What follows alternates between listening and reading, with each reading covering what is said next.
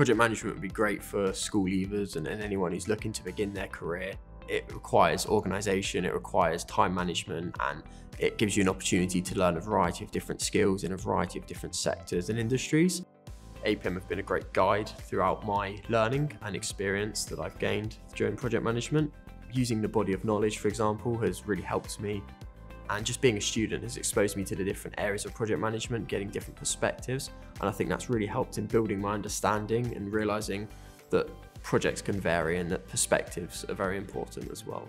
The APM project management qualification it's given me a qualification, so that's an addition to my CV or to any any kind of skills and, and areas that I, I want to demonstrate to an employer. I think it looks it looks good, and it's also enabled me to understand on a wider level the different aspects of project management.